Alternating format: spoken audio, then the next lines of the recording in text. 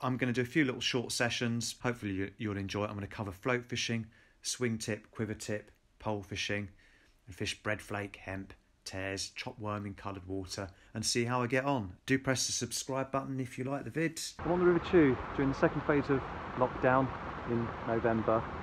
I'm five minutes away from my doorstep and uh, a tributary to the Bristol Avon. It's free fishing, so you can get here by bus, train, and there's even a, a tackle shop, Premier Angling, one of the best tackle shops in the southwest, at walking distance. So it's also got a car park behind if you're driving. There's a great little venue. I love free stretches. I think they're really important for um, getting new people into fishing. Uh, typically, when you think roach fishing, you think very fine tackle, um, as light a hook length as you possibly get away with. Well, that still applies here, but um, the lightest I can get away with is probably four five pounds because of the, the chub and the barbel and also it is snaggy as hell. So um, I'm going to be using uh, light um, homemade ledger links basically using swan shot um, on a weak link. Yeah swinging in the 60s swing tips in the 80s they're uh, a very sensitive bite indication. It's all about roach. So when it's flooding I use lobworm. When it's fining down I tend to use bread flake and I found from experience putting ground bait in just draws in a, an endless shoal of minnows that never can never be fed off. Yeah, if you start balling out your ground bait, even if it's a very heavy mix, trying to predict where that's going to land when you've got seven or eight, sometimes ten foot of water for it to travel through, it's almost impossible. You need to be on top of the bait that you're putting out, and the easiest way of doing that is with a bait dropper. Right, I'm getting lots of bites on this worm, I'm not getting hookups.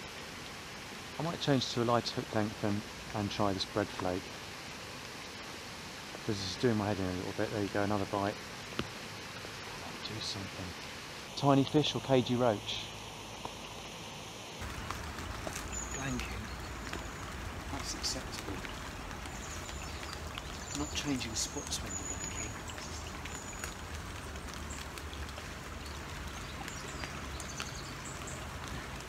That's unforgivable. Hello Fraser. it's the best thing that's happened all morning, seeing you guys. Really? Yep. Did you not catch one yet? No, I caught one. I'm back for a third time to try and catch this roach.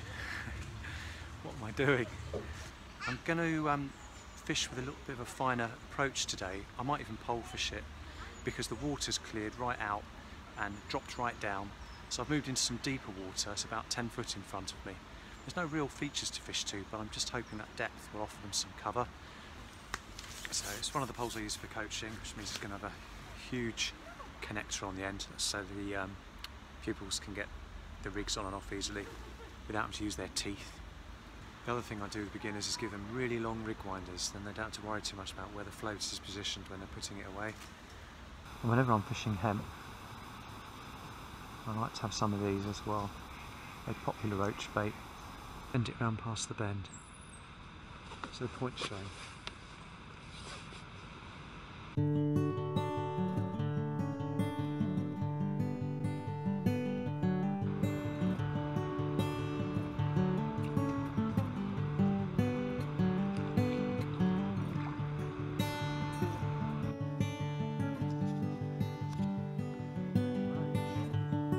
Scaling down to size 22. It's lip. Look at that black spot. It's quite common in roach. Beautiful. Let's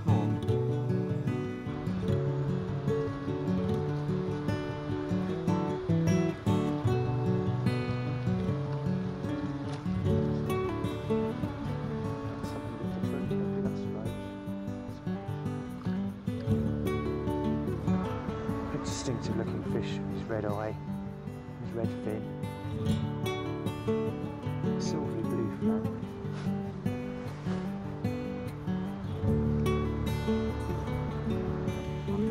Very fat minnow.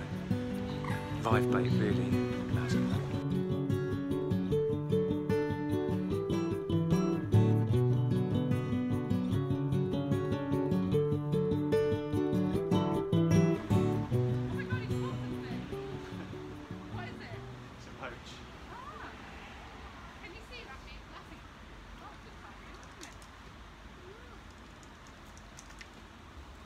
Question is, is there still any big ones in here?